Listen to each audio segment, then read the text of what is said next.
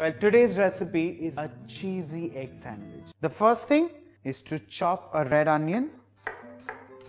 Let's move on to the next ingredient and that is green chilies.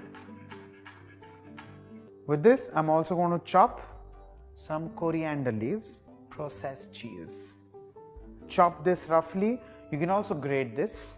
I've stacked up all the sliced cheese. I'm going to add all these ingredients in a bowl. Onions, coriander, green chilies and of course, not to forget, processed cheese. I'm also going to add in a touch of salt and just a little bit of freshly cracked black pepper. Mix all of this together. Well, this mashing is best done with your fingers and place this on a slice.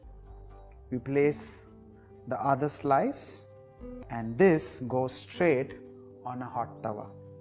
Base, all you need to do is press this and there you have, well the egg is right here, a touch of salt, very little turmeric powder and red chili powder. Need to whip all of this together.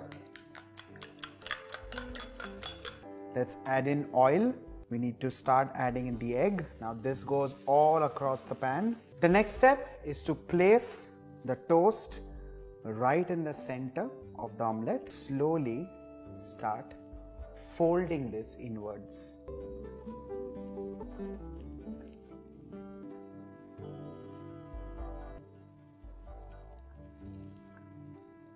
With this, your cheesy egg sandwich is done and ready and this straight goes on the serving plate.